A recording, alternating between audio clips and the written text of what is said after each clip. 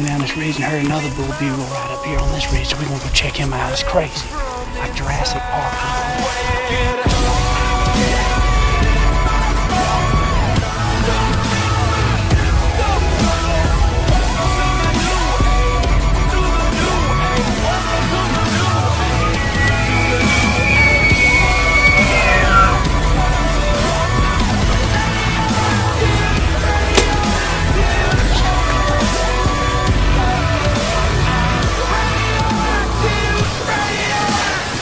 Tell you, son, he just got hammered.